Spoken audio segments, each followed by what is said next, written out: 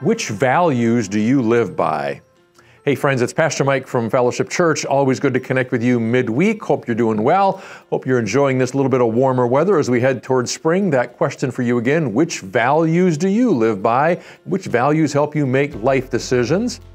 I had a couple of interesting experiences over the last couple of weeks that got me thinking about values. First of all, last week I spent some time at the local community high school here doing something called a mock interview.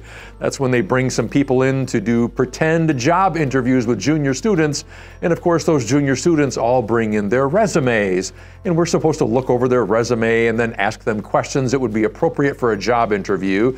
And in looking for the, over those resumes, it's not hard to recognize that, yeah, students are focusing on achievements. These are the grades I'm getting in school. These are the jobs I've had so far. Here are the things that I've done in my life. Perhaps you filled out a resume at some point in time in your life as well. And when we fill out resumes, we always list some qualifications and achievements in our life.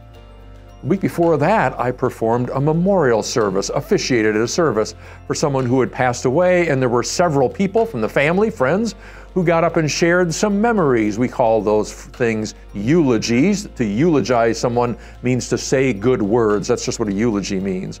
And here's something I notice in eulogies. I've heard a lot of them over the years.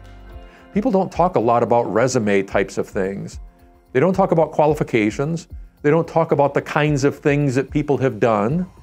I've heard a lot of eulogies over the years. I don't think anyone's ever talked about a person's grade point average or even college degrees or the things that they accomplished academically, intellectual pursuits, anything like that. When a person gives a eulogy, they're almost always sharing memories. Here's what I remember about this person.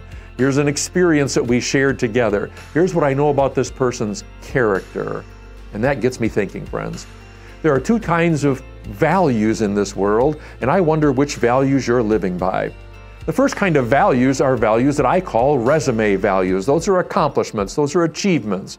Those are the kinds of things that you and I might put on our calendar or our to do list. They're the kinds of things that we strive for uh, maybe job promotions or, or changing of lifestyle or something like that. A resume value is something for which we'd say, I achieved that or I accomplished that. They're the kinds of things that we tend to be proud of, and maybe they're the kinds of things that belong on your resume.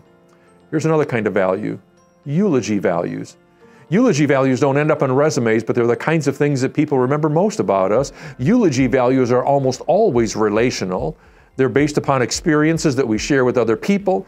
They're based upon relationships that we've built, the ways in which we've cared for people, the ways in which we loved people, the ways in which we invested into people, the ways in which we helped to develop people, the things that we've done in our own life that maybe they're even God related, in which we've worked on developing our own spiritual maturity so that we might become more Christ like and therefore influence those around us. Friends, those are eulogy values. So, which values are you living by? Because you and I will make decisions based on a kind of value in our life. Almost every decision that you make in your life is based on some kind of a value. You'll either make decisions in this life based on resume values, or you'll make decisions in this life based on eulogy values. What do you want to be remembered for?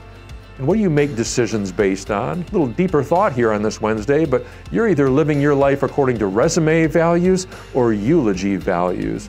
Which values work best for you? Friends, just a thought to share with you on a Wednesday. Hope you're doing really well this week. Know that we love you, we care for you, we are praying for you, and may your values speak really well of your life. Take care. God bless. Bye bye.